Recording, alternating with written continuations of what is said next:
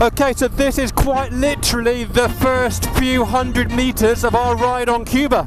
Uh, we got here late last night. Uh, got ourselves sorted. The uh, this morning we got customs done. We got immigration done. Right now we're heading down to their version of the DMV. Hello, Lisa. Hello. Welcome to Cuba. Got to figure out how to turn these uh, big lights off. Yes. Hey, welcome to Cuba.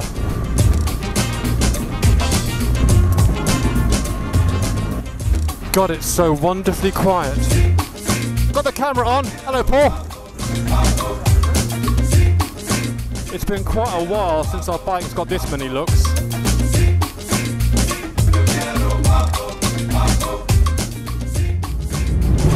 Connected.